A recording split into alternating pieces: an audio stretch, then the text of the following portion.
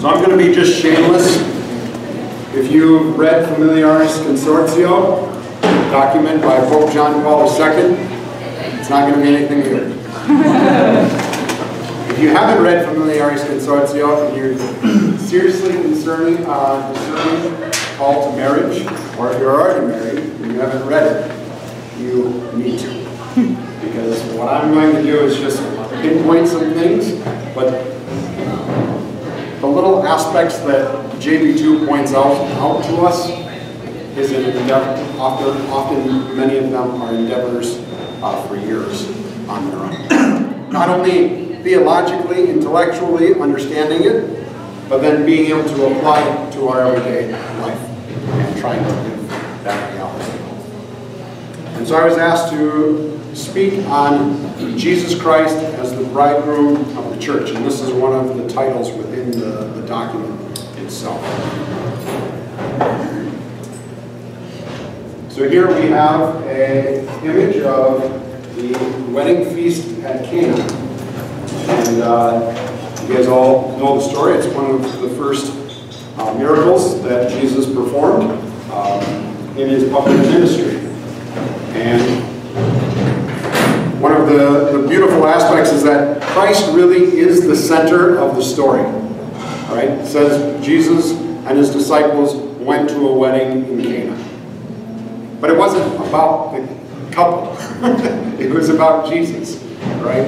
Um, and so there's a there's a great mystery that is brought to the, the sacrament of marriage in this story.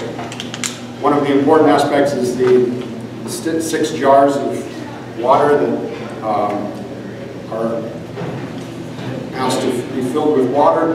Jesus uh, transforms them into wine, and the best wine that they've, they've had all night. This obviously is a foreshadowing of the, the cross, right? Um, and the, the, beauty of this, uh, many biblical scholars, I'm sure there's some biblical scholars here, maybe we can uh, fill in on some of the details, but six jars. Seven is a perfect number. Where's the seventh uh, jar? The seventh jar comes in at the, the Last Supper and the crucifixion. All right, and so a real way, the crucifixion is the fulfillment of the, uh, the foreshadowing in the wedding feast of Cana. Um, I had the, privilege of celebrating a wedding this summer, and the gospel was the wedding feast of Cana. And what really struck me was that Mary told the servants, do whatever he tells you. All right? Do whatever he tells you. The wedding couple is the servant to Jesus Christ in the sacrament of marriage. All right? Jesus Christ is the one who is the, the active, what do you want to say, the active character in the sacrament of marriage. All right? Do whatever he tells you. Not only on the day of your wedding, but every single day of your life as a married couple. All right? And the beauty is, we put in something so simple, water. And what does Jesus Christ do with that through the sacrament and the grace that is given to us through the sacrament of marriage? He transforms it into something much better. All right? And so I, one of my insights, I guess, that the Lord kind of shared with me was you have to fill that those jars with your water. With your sins, with your struggles, with your joys, with whatever it is. But you have to fill those jars and you have to give it to Jesus. And there he will transform it. All right? The beauty of the sacrament is that he will transform it into himself. All right? And so the, beauty of the sacrament of marriage is that it is a sacrament. It, it embodies Jesus Christ. All right? So I just wanted to give you kind of an image uh, to initial, uh, initially get started with, uh, with this talk. Um, and the beauty of it is, through um, throughout marriage, we need to constantly be walking with both Christ and the Blessed Mother. All right? Mary shows us when something is lacking. She points it out to Jesus, and there Jesus acts. All right? And so within the sacrament of marriage, we need to go to the Blessed, the Blessed Mother so that she can reveal to us where things are lacking that we can bring to Christ so that he can transform it into something um, perfect. Familiaris Consortio, paragraph 13, uh, is going to be kind of the highlight of the, the talk tonight, even though I'll be pulling from various other paragraphs of uh, this document. I think paragraph 13 really is what we're trying to focus on, and that is Jesus Christ is the bridegroom of the church, um, which is kind of the, the, the sacrament of matrimony. All right. And this is, I, I put in the search find, and I put in sacrament, and this was the paragraph that had the most words. Sweet. I don't even have to go searching. Technology is amazing. so I hope you guys all can read this.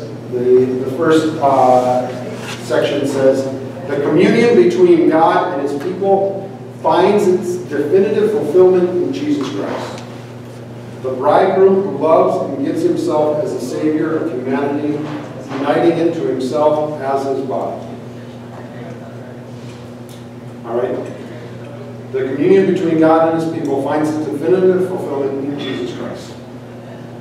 Um, the bridegroom who loves and gives himself as the savior of humanity. He is the one who embodies what marriage is all about. All right?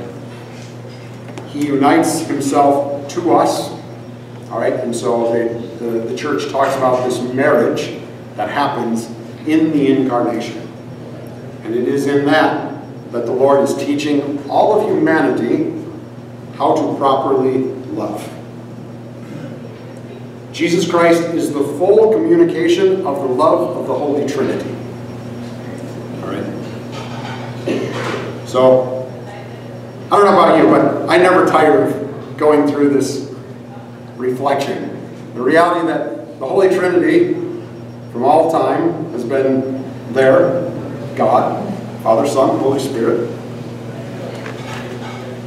He pours himself out in creation because goodness cannot hold itself back. It has to give, it has to be, cre it has to be creative. All right? In that creation, man falls and things get twisted. And so, God from all time, the beginning of time, from the fall of Adam and Eve, had this plan to redeem humanity. And so, he takes on humanity to himself. He marries humanity. You say, ah, that's, that's beautiful. Mm-hmm. well, no, no, no. That's an eternal divide that humanity can never make up. Ever. Cannot make up. So the fact that he would marry humanity and take humanity to himself, he's drawing us into the greatest relationship that man could ever, ever be a part of. The relationship of the Holy Trinity. And we become intimate participants in that, in that relationship. All right? And so this, this reality of the communion between God, and his people finds its fulfillment in Jesus Christ. Jesus Christ is the fullest communication of God. We, we encounter that in Jesus Christ. All right. Um, the bridegroom who loves and gives himself as a savior of humanity, uniting it to himself as his body. All right.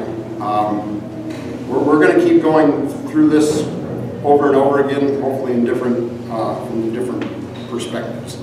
Um, but the incarnation and the hypostatic union, which is the union of God's divinity and his humanity into one person is absolutely crucial to our understanding of, of marriage. All right. And we don't have to get into this right now, but I, I just want to say, like, this is why the synod is such a big deal. Divorce is a big deal. It is an embodiment of the covenant that God made with humanity. Can you ever imagine God not uniting himself to humanity, taking on human flesh? Without it, we would have nothing. With it, we have everything. And if marriage between a man and a woman is sealed by God himself, in order to communicate this profound reality, who are we as men to divide that which God has united? We can't. Even the church in all of its power has not the power to do that. We can proclaim something that is not there, but we cannot break a bond that was united by God.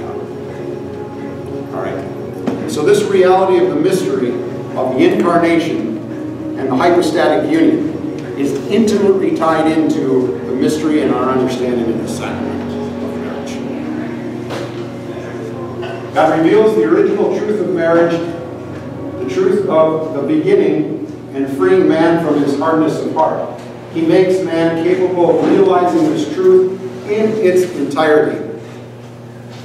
All right? You guys all know, but go back to Genesis, that's where the marriage begins between Adam and Eve. And in a, in a real sense, before the fall, that's what we're trying to get back to. In our humanity, to love the other selflessly, generously, faithfully, all right? Without any twists of wrong desires or thoughts, hopes, dreams, but perfect relationship that is faithful, that is forever, all right? That's fruitful, that is free, a free gift of oneself, all right? Um, and I was, I was struggling in naming the title of this talk because I think this is at the very heart of the entire document, I think. What, what is the, the sacrament of marriage? It is giving man and woman the grace to soften their hearts in order to love appropriately. To love in the way that God has loved us. And to love Him in return along with spouse and others. All right? Um, so Christ comes to show us how to do this. Um, he, he really uh, ingrained it into our nature from the beginning. All right, Mar marriage was a natural, um, what do you want to say, relationship that God intended from the beginning. Right, between Adam and Eve. Um,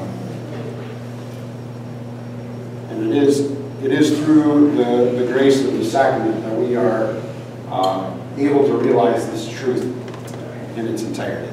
Okay. Marriage, the natural institution raised to a sacrament. All right, we talked about Adam and Eve a little bit as the natural institution. Christ raises it to, um, to the level of the sacrament. Again, Continuing on paragraph 13 of Familiaris Consortio, this revelation reaches its definitive fullness in the gift of love which the Word of God makes humanity in assuming a human nature, and in the sacrifice which Jesus Christ makes of himself on the cross for his bride, the church. All right, so this revelation reaches its definitive fullness in the gift of love.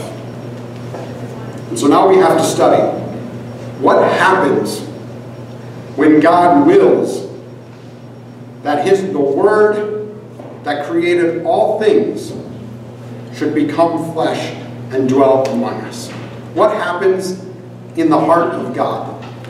Well, First off, the fact that anything would exist already is a communication of the heart of God, of His goodness, all right, His generosity, the kind of procreative nature.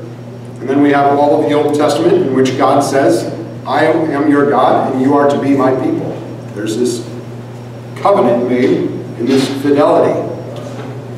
It's this continuous gift of love that God is trying to communicate and then communicates in its fullness in the person of Jesus Christ. Um, and this gift of love is what the husband and the wife try to embody in their daily lives. Not only in the, the physical, conjugal act of making love, but in every single act of every single day. They are trying to make a gift that is free of themselves, given for, to the other. All right? And then the ability to then receive the of reciprocal love of the other. All right?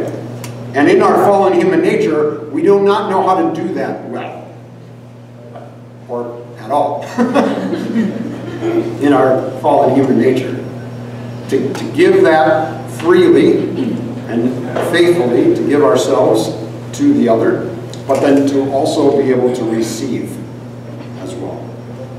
All right.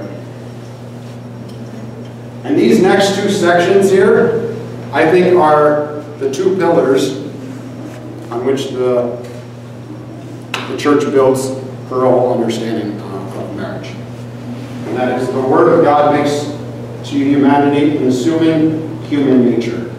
It is the incarnation. All right? The Word becoming flesh, and I, I talked about that already a little bit. The, the profundity of the Word becoming flesh and the hypostatic union. And that, that bond cannot be separated at all. All right? Which gives us the bond that we have within the sacrament. Um, and it's and it's a and it's a perfect, complete bond. Um, nothing is lost in God's divinity. Nothing is lost in His humanity. They're both perfectly whole, and they're perfectly united. All right, just think about that. Two people in the sacrament of marriage are perfectly themselves, and the other is perfectly themselves, given to one another perfectly and perfectly united into one. That is what the sacrament of marriage ought to be. All right? Nothing is lost.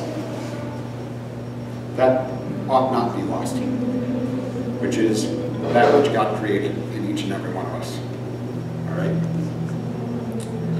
And we can get into this a little bit more if we have time, but this is why it's important that the couples know themselves extremely well, that they're real with themselves, and that they approach the sacrament of marriage in that full understanding of themselves.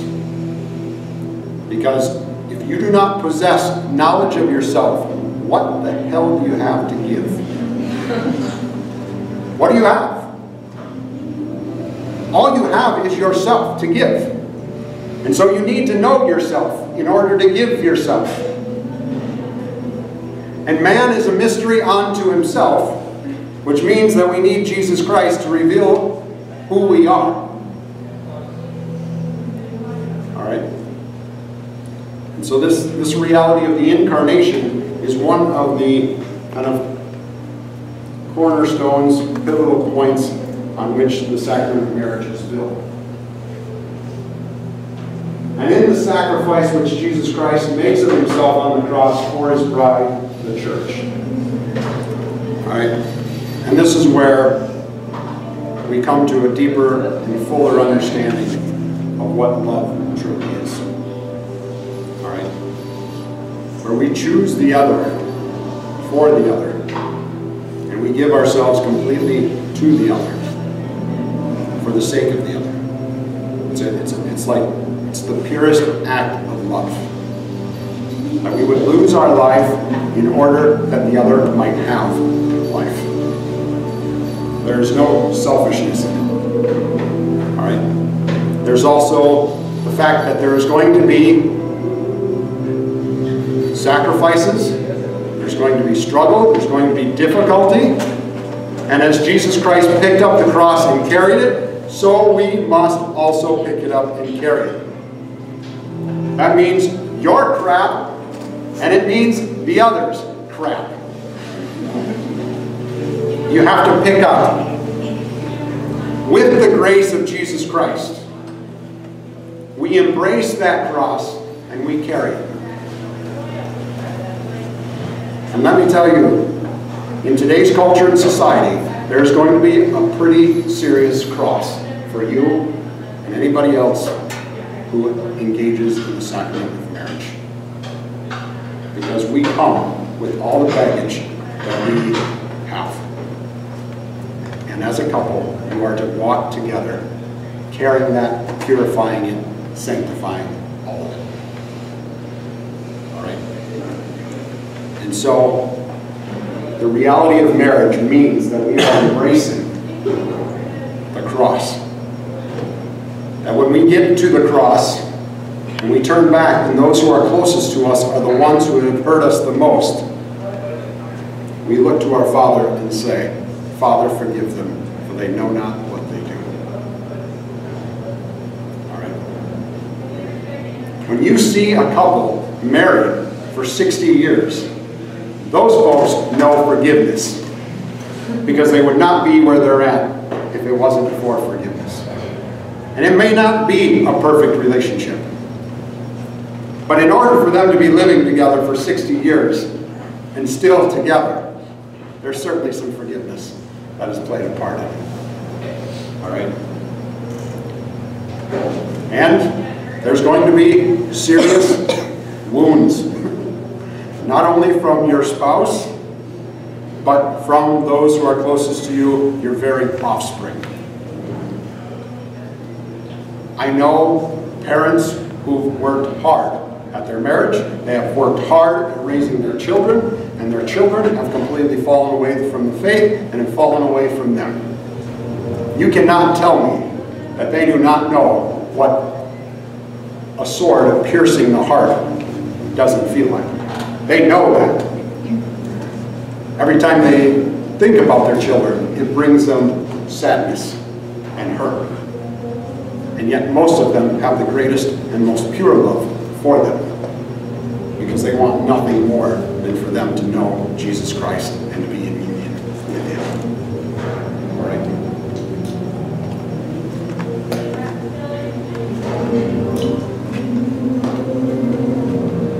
Um, yeah, obviously we, we know the, the scripture passage, Ephesians 5, which talks about, you know, husbands love your wives as Christ loved his church. Women, be submissive to your husbands. All right, as I think it says as the church is to, to, to Christ. And this, St. Paul is not talking kind of figuratively.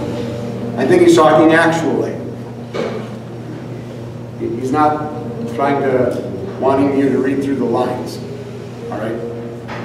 Because the reality is, if the husband loves, loves his wife as Christ loved his church, he will provide everything to the church that she needs. Everything. Meaning his very lifeblood will be poured out. And it's not a mindless, I'm going to work myself to the grave. It is very intellectually full of knowledge, intentionally seeking the good of the other. Having full possession of the emotions, being able to love the other with the fullness of his emotions, loving her with the fullness of his very body. the fullness of the human person is being given. And so if a wife has that kind of husband who is going to love her, why would she not submit to him? Why do these relationships begin to break down? I think because of a lack of trust.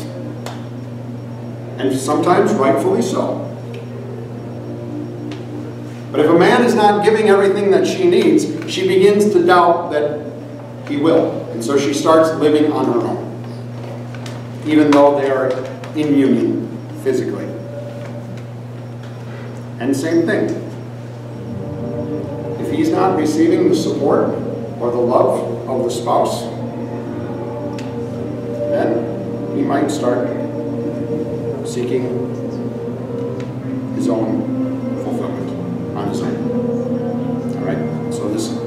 giving of oneself. Now it's not saying, obviously we know this, it's not saying that the man is greater than the wife. The wife needs to be the complete slave of the man, right? That's, they're equal in dignity, but they have different roles. Masculinity and femininity. There are two different realities. And they are complementary. Right? Believe it or not, they are. All right? Not just physically, but on many other levels as well. All right? In this sacrifice, there is entirely revealed that plan which God has imprinted on the humanity of man and woman since their creation. The marriage of baptized persons thus becomes a real symbol of that new and eternal covenant sanctioned in the blood of right? This, this is where I think marriage goes from a natural institution and is raised to the level of sacrament. Is that now you become a real symbol Okay, what, what is, what is,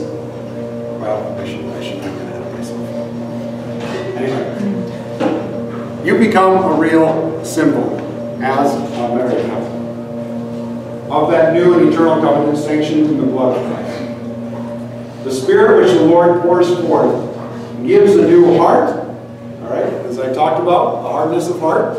This heals the hardness of heart. So the Spirit which the Lord pours forth gives a new heart and renders man and woman capable of loving one another as Christ has loved us. So the elevation to that of a sacrament is the fact that you are given the grace to love in a way that Jesus Christ loves the church. You are called to a higher level of love than natural institution of marriage. It is to be perfected. With this, this is what will bring about the sanctifying of our culture. And God promises that in the sacrament of marriage, you will receive every grace needed to transform your state in life and the work that you do. And we'll get, we'll get more into this. The responsibility of those who are married is very grave. People look at the priest and say like, it's amazing, you can make Jesus Christ present in the Eucharist. You can make him present in the forgiveness of sins. It's like, yes, but you have to make him present in the world. And today, the world is not communicating Jesus Christ very well. And he wants to give you the grace to make it happen. In your, where, wherever you're at. He's not saying that you need to save the world. He's saying you need to save the world that you are in. And that God has put you in. And the people he has put in your life. And through the sacrament of marriage, you will receive that grace as well as the other sacraments, obviously. All right? But there's a real grace given in the sacrament of marriage. Conjugal love reaches that fullness to which it is interiorly ordained. And I love this. This threw me off when I first read it. Conjugal charity. All right? Everybody knows what conjugal love is, I, I hope. All right? If you don't, don't be embarrassed. We'll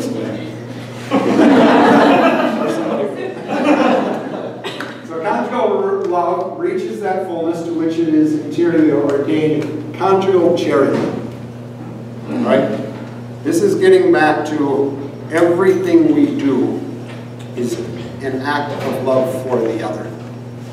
Without conjugal charity, the conjugal love of the actual act itself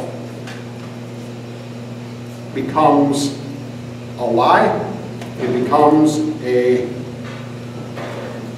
stealing something for yourself that was never ordained to be that way.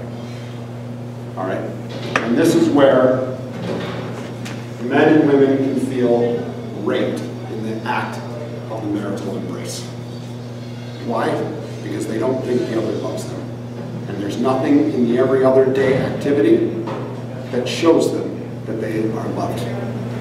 And so it is completely a selfish act. All right, but this conjugal charity, and there, I'm sure there's a boatload more meaning hidden in, the, in these words that I don't even know about. But my understanding of conjugal charity is this reality of this complete gift of ourself, not only in the sexual act, but in every aspect of our lives, is ordered for the good of the other.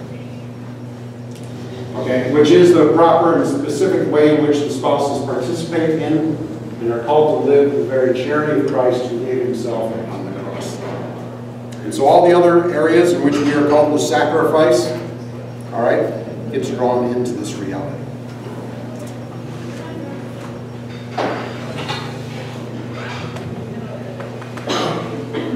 All right. How we doing, Marina? On time? So, So we can wrap it up. So we go forward when Mass is ended. We're getting, we're getting there. Is that about my talking? Thanks, Miguel. All right, that's about as much in as you can get. Since God's plan for marriage and the family touches men and women in the concreteness of their daily existence in specific social and cultural situations, it is in fact to the families of our times that the church must bring the unchangeable and ever-new gospel of Jesus Christ, just as it is the families involved in the present conditions of the world that are called to accept and to live the plan of God that pertains to them. So that touches a little bit upon what I what I was just uh, just saying in regards to kind of the uh, well giving giving ourselves sacrificially to the other, but that also stretches out into our children and uh, daughters that we're called.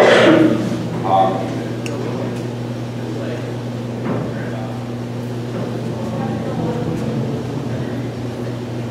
and I think this is this is important for us to see.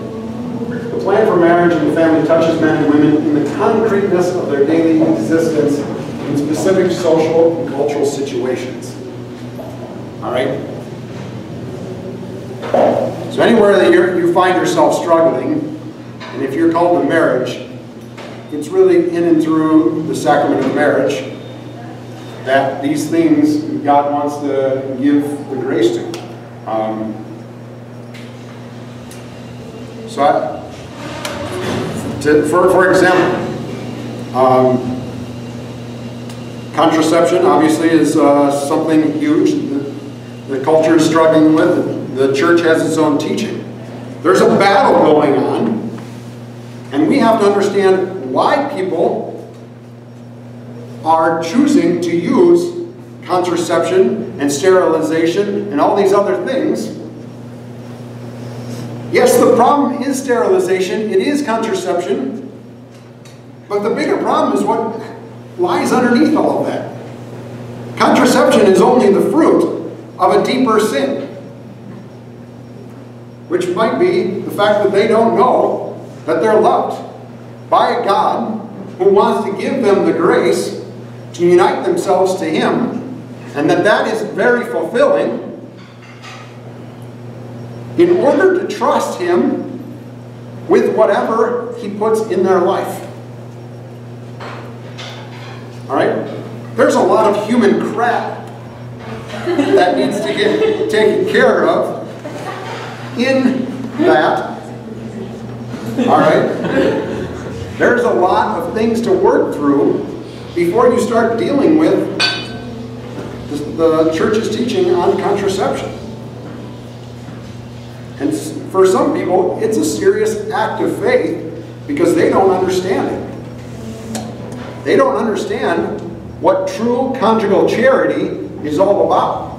They don't understand what the conjugal act ought to be like. All right? Which automatically gets into a trust not only of your spouse, but a trust in the Lord Himself. Um,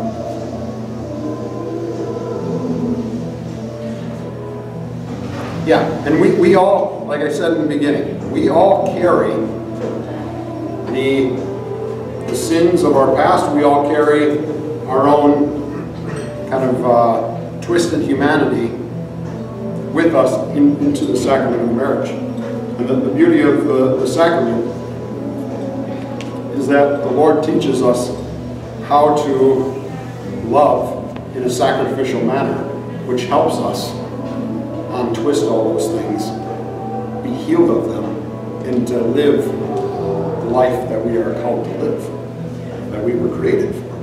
And that is to give love, the gift of our lives as, as a gift of love. Um, then it is, in fact, to the families of our times the church must bring the unchangeable and ever new gospel of Jesus Christ. All right?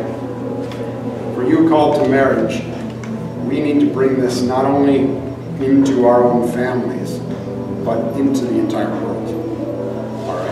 Understanding of the.